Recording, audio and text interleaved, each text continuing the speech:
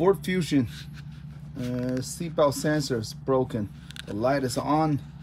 Airbag's not working because the uh, look at this wire.